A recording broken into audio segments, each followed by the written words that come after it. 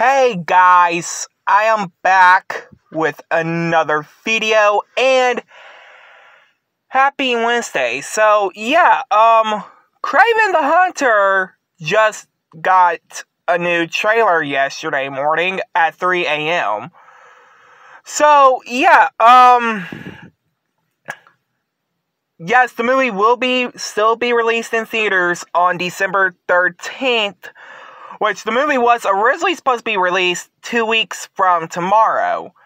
Before that, it was supposed to be released last October, but it was delayed. So yeah, um, anyway, so the trailer was shown at 3 in the morning yesterday morning, which is surprising because we don't really see that it that much. So, what's my thoughts about the trailer? When I watched it, watched it first for the first time, I did not know the movie will be going mortal, mortal. I'm sorry, I cannot speak that well.